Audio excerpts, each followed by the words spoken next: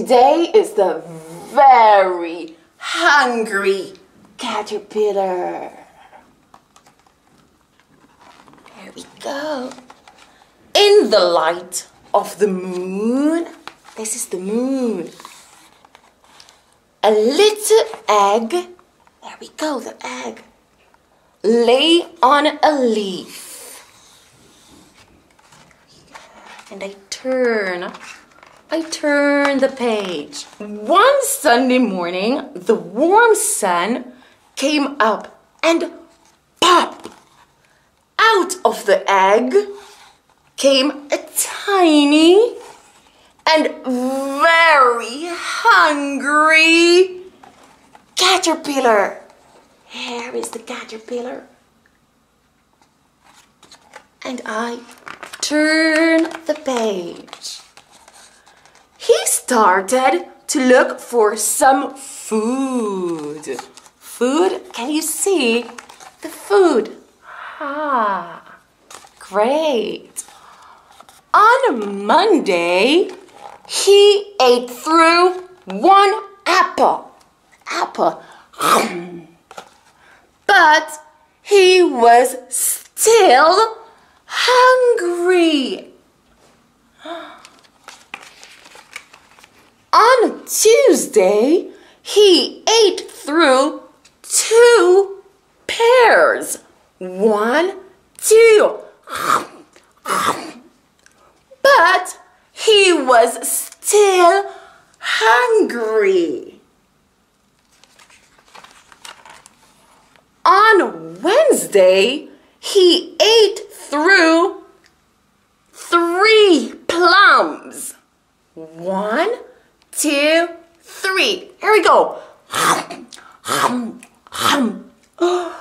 But he was still hungry. On Thursday, he ate through four strawberries. Let's see the strawberries. One, two, three, four strawberries.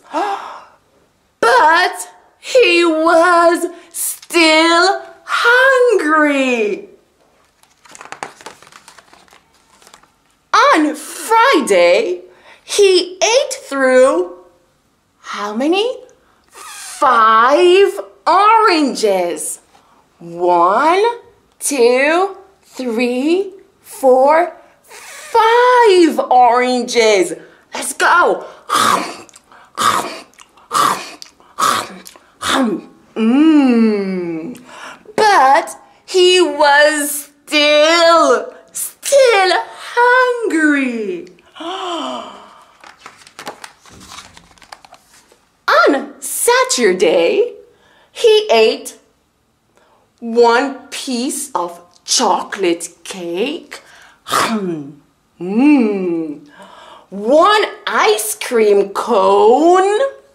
Um, oh, one pickle. Um, one slice of Swiss cheese. Mm, one slice of salami.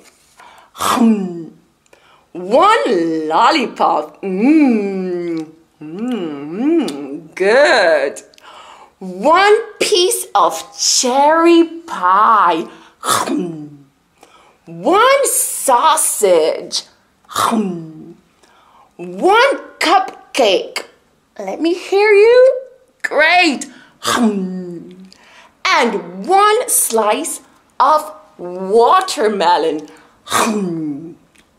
Oh.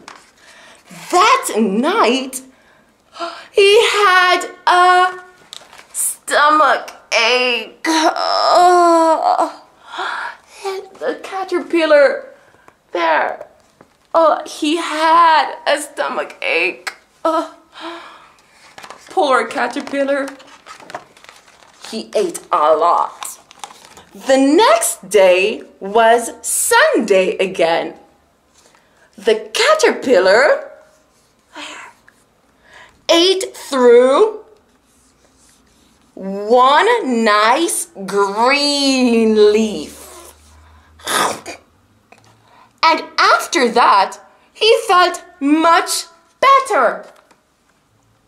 Much better. Great.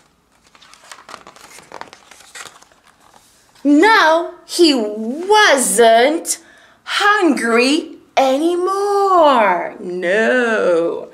He wasn't a little caterpillar anymore.